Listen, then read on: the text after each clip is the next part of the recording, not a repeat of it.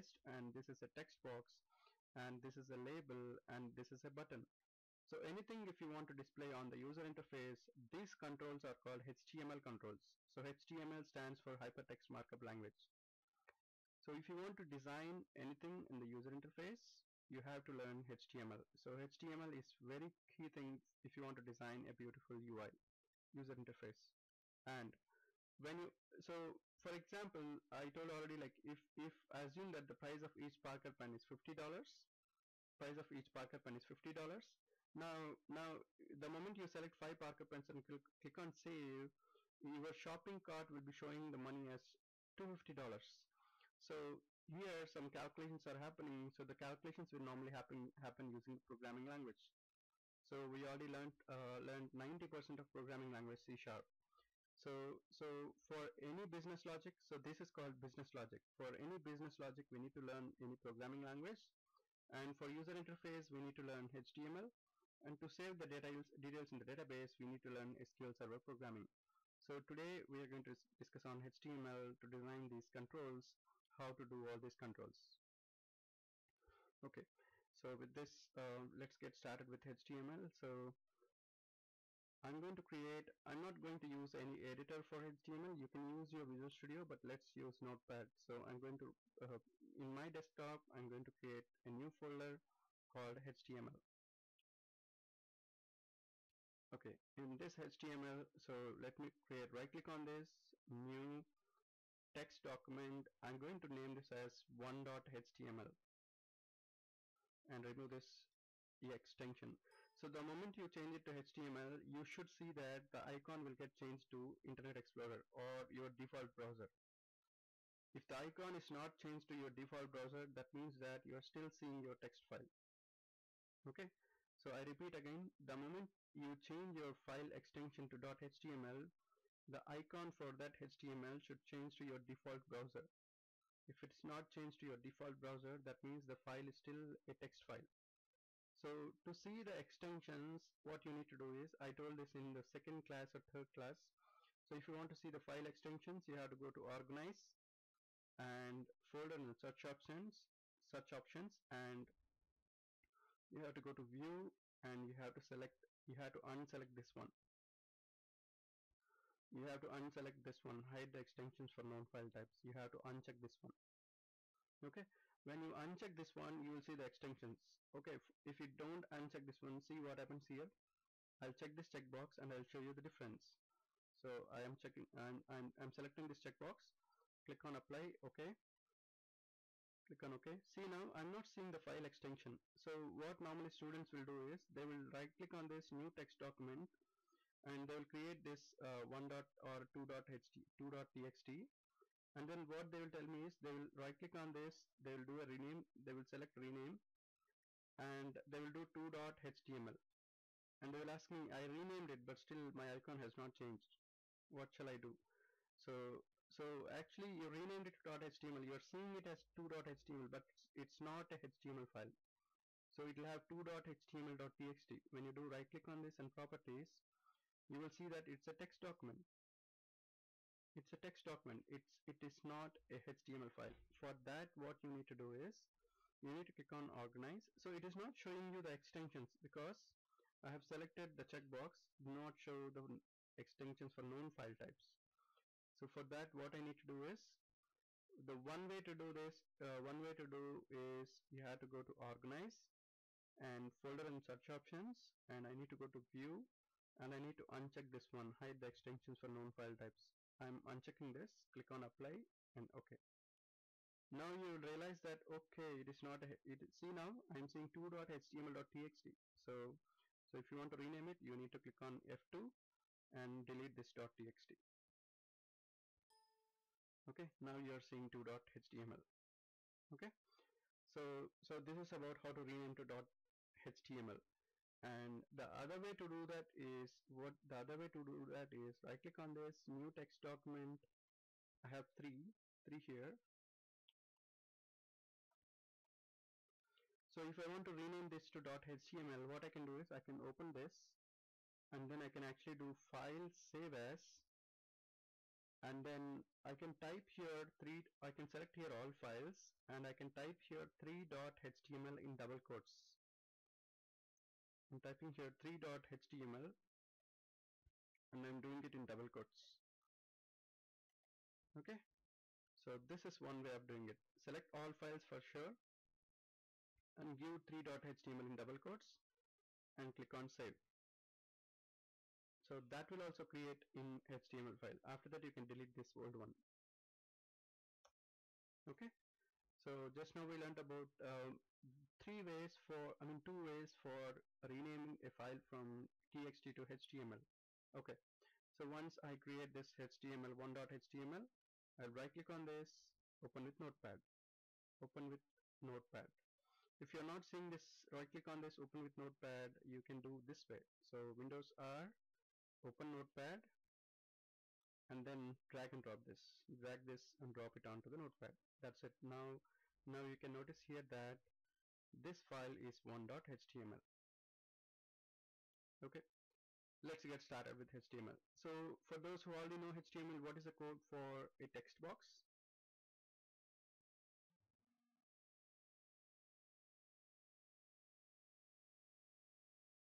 Do not google it. You should tell from whatever you know.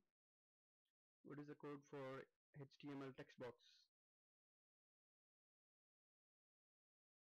HTML text box. We don't use button for a text box. So what is the code for HTML text box? First of all what is text box? Yeah input type equal to text and name equal to name. Okay perfect.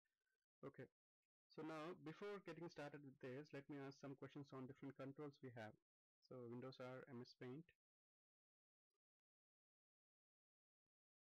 Okay so so now first I have I have something called name in in my web page and and if I want to design this. So what is this control called?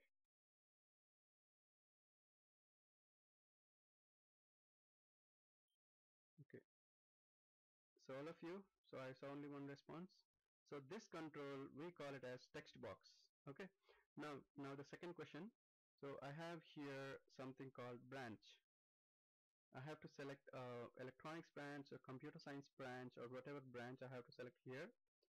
For that I have something called like this I have something called here.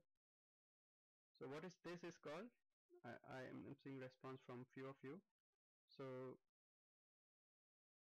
I'll see an option here and when I the moment so this is not a checkbox. This is called a drop down list so the moment I click on this I'll have multiple options. So I'll get a drop down I'll get a drop down list. So I'll, I'll see the values like this. Okay I'll get an option to select from multiple values. So this is called a drop down list. Now now the other one I'm going to ask now here I have I have medium. Uh, either it can be English or French. So what is this called? So I'll have a small circle and I can select only one option from this. So what is that is called?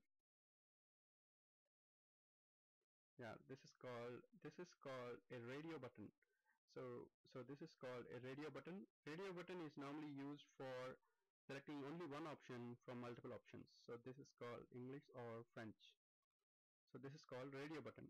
So the first one is a text box where you will have options to enter some values. And the second one where you can select some value from multiple values that is called a drop down list. And the third one and the third one you can only select one value from the two options that is called a radio radio button. And and we have something called hobbies. And in this hobbies we have we have options like uh, you can select one or more option. So you will see a small small box like this and you will see some options. So this is called what is this? Yeah I'm not seeing the response from Jesse. Okay yeah I'm seeing okay. So this is called so if I have one checkbox I mean this is a checkbox. So I can write here cricket and I can add some more options whatever options I want. So maybe I can add one more option called uh, chess or whatever. Okay so the difference between radio button and the checkbox is so so here so this is a radio button where you can select only one only one thing only one option. But whereas in checkbox either you can select this one or you can select both the options. So that is called checkbox that is the difference between checkbox and and the radio button. And then you will see some one more thing called where you can enter your address. Okay so where you can enter the address you will see a something called a big text box. What is this one? So so anyone has any idea on this? What is so I got only one response. This is not a message box and I got one correct response from this is not a list box. Yeah I got one response from Nikhil and I got one response from Padmini. Uh, both are correct. So this is called a text area.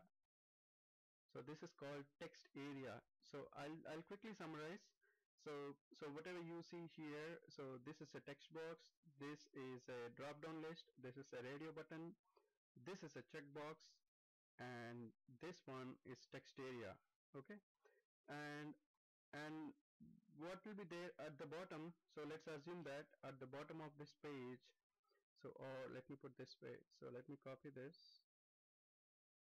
Let me move this here and let me move this little bit up and let me move this here.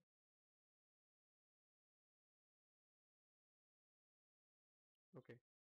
So now I have at the bottom here so I'll have something like this. And I'll have here. So what is this one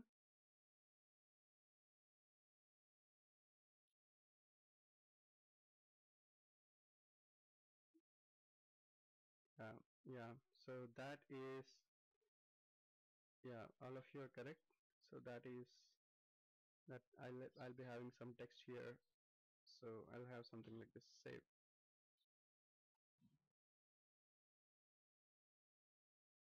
that is a button. So this is a form. So so I'll have we need to design this page right now. So by the end of this class you should be very clear in designing this in HTML okay? So let's get started so we are going to design this form and and pure static form and we'll see how we can do that okay? So let's get started. So so first I need to write here so I need to write here name. And adjacent to that I need to write here what I'm saying here. I need a text box. So for text box the code is I need to give here input input type is equal to text and I need to give some name for all the controls. So this is called a control. So for all the controls in HTML you have to give a name for it. So you have to give a name for it because imagine you have three four text boxes. You have to differentiate between them. So you have to give a name for it. Name. I normally give like this txt so it is a text box so I'm giving txt txt as a prefix. Txt and this text box is for name so I'm giving name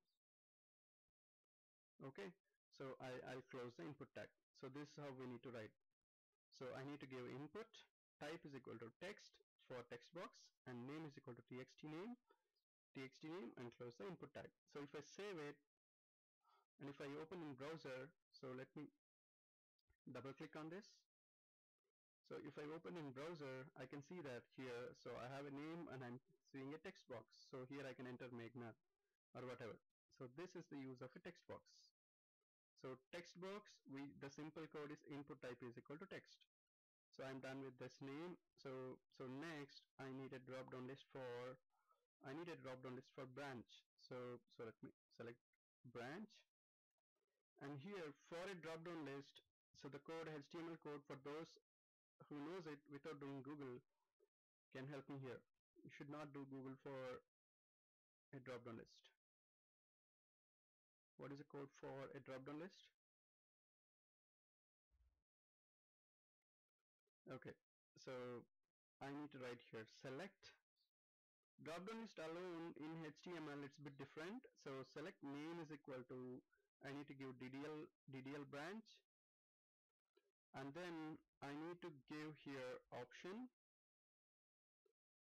And and I can give here I can give here um, what will be the branch electronics.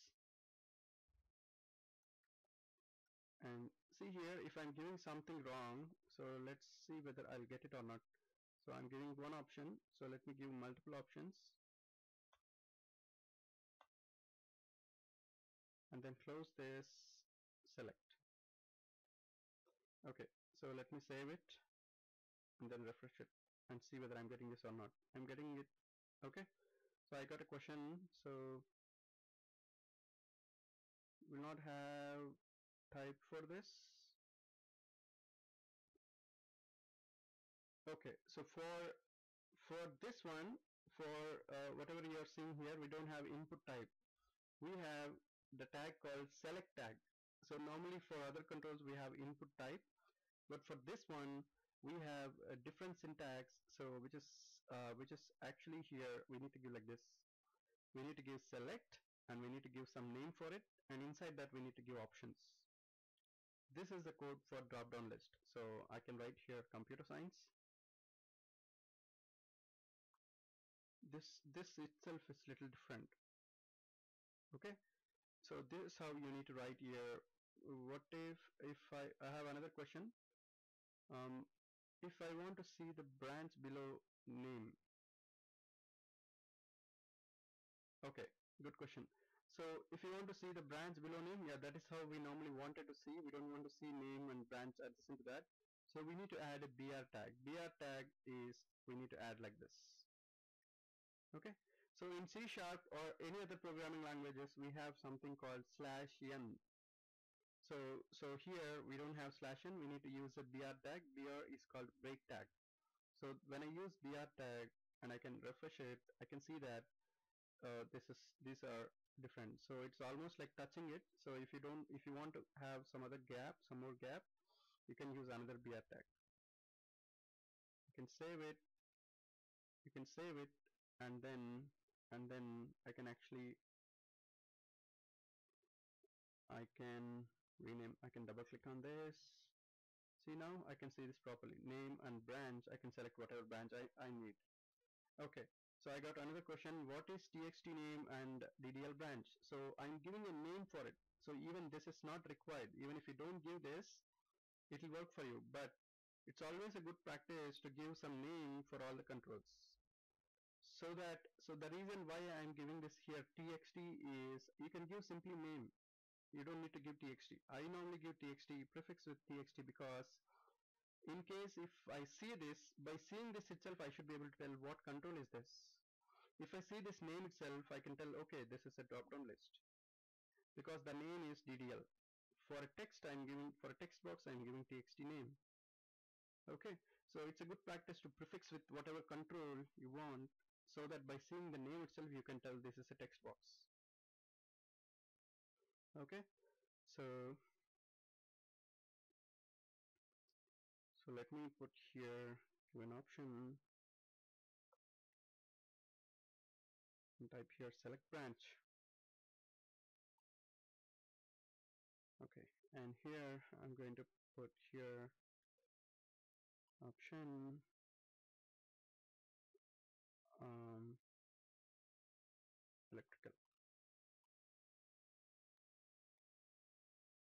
I'm done.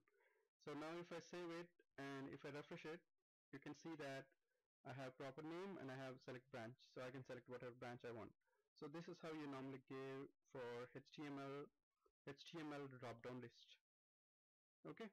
Now what is next one for us? So we have something called radio button for medium. So for that what you need to do is you need to type medium and remember I had to give a BR tag. Otherwise I'll get the radio button adjacent to the drop down list. So I need to give a BR tag. And for medium what I need is input type is equal to radio. Input type is equal to radio. And name is equal to RD medium. And I'll close this. And I'll give the what is that? First I need to give English and I need to close this input. So let me save it and see the difference. So let me save it and check whether I'll get this or not. So I'm getting here one radio button which option English. So I need to get another radio button. So for that I need to go here and I need to give I need to give another one. So remember um, in for radio buttons if you have multiple radio buttons you have to give the same name so so here I'm copy pasting it. I have to give the same name for both of this. If I give different name I'll show you what happens. So I need to give this here French. So I gave same name now. So let me save it and then go to HTML so now I can see that I have two options. So when I click on I'm going to select only one of one of these so that is the use of radio button. So you can only select one option. So you cannot select both the options so by if you don't give the same name here for example if I'm giving RD medium and if I'm giving some other name here RD medium 1 so if I save it so I, I I can able to select both the options. So I don't want to do that. So see here I'm able to select both the options which I, I don't want to select both the options. In that case for that is the reason why you have to give same name for radio button. Okay so you want to select only one option so so you have to give the same name for both the radio buttons so input type equal to radio name is equal to this and inside this you're writing English okay so this is how we need to write for for Actually, when you're using Visual Studio, you don't need to remember all these things. See now, when I use Visual Studio, but but don't do it in Visual Studio at least for today, uh, so that you can remember the tags. So it's always good to remember the tags. So at least very few tags, not all the tags. So so file, new project. So till now we used to select C sharp console application so all the time we are doing C sharp console application but now what you need to select is you need to select um, for those who are having Visual Studio 2013 they need to come down they need to select web and Visual Studio 2012 and then need to select ASP.NET empty web application for those who have any previous version of Visual Studio they can simply select web and inside that they can select ASP.NET empty web application so select this ASP.NET empty web application, click on OK.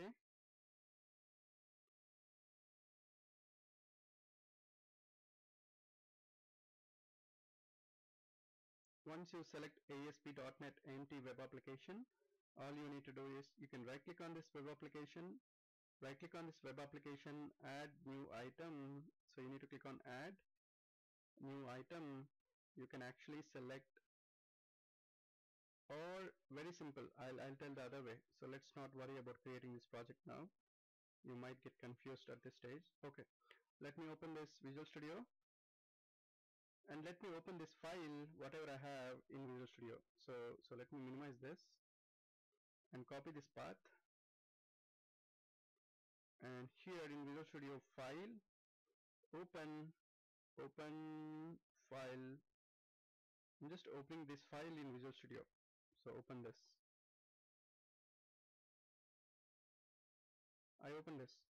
So now I can see here these these things I don't need to type all these things. If I want a checkbox or if I want a drop down list I can actually um, see here I have all these controls. So what I can do is I can simply uh, drag and drop it. For example text area. Or for example uh, select. See here? When I do a drag and drop, for me it is showing already. Select ID is equal to something or name something.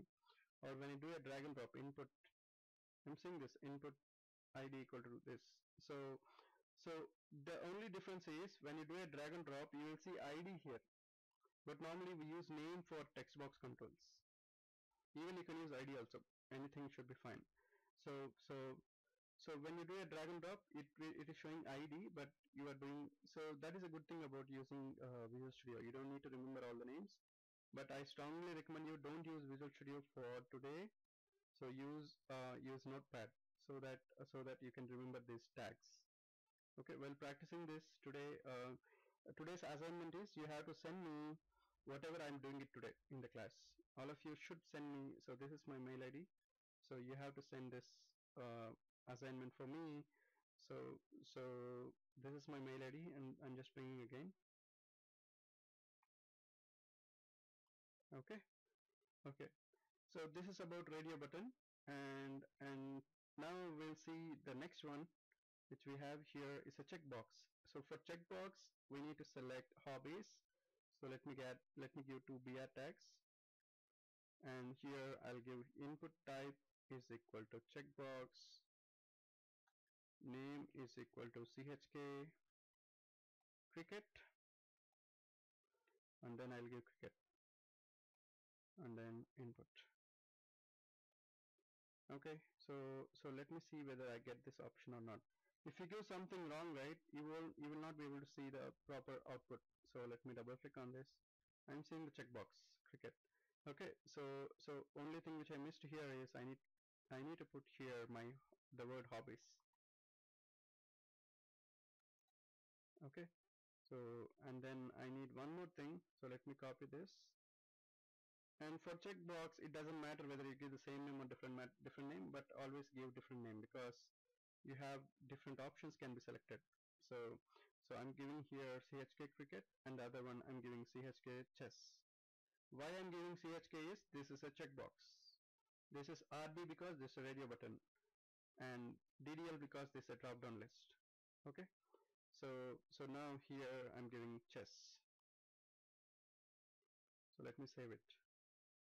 And the next one which I have is address. So for address what I need to do uh, what I need to do is I need to give I don't have input tag for this address as well. For address we have text area. So we have something called input not input type. We don't have input type for address. We have text area. And rows is equal to I need 5 rows and columns.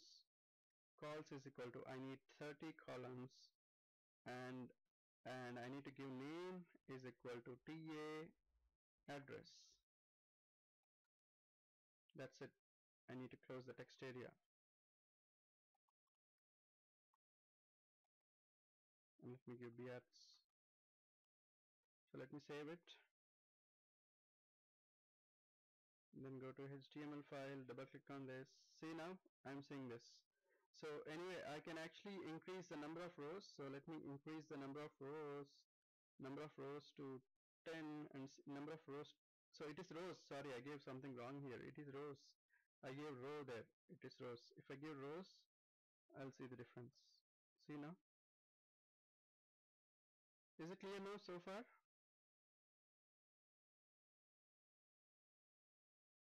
All of you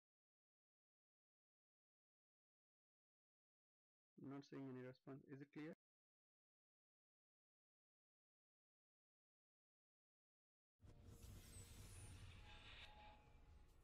H2K Infosys provides world-class online IT training, staffing, and software testing solutions to customers worldwide. H2K Infosys, how we are different from our competitors. 100% job-oriented training, hands-on project work, cloud test lab, resume preparation and review, mock interviews, robust syllabus, one-time fee and lifetime access to classes, access to recorded sessions of live classes. H2K Infosys has won the trust of thousands of students worldwide. For a free demo class, visit us at h2kinfosys.com.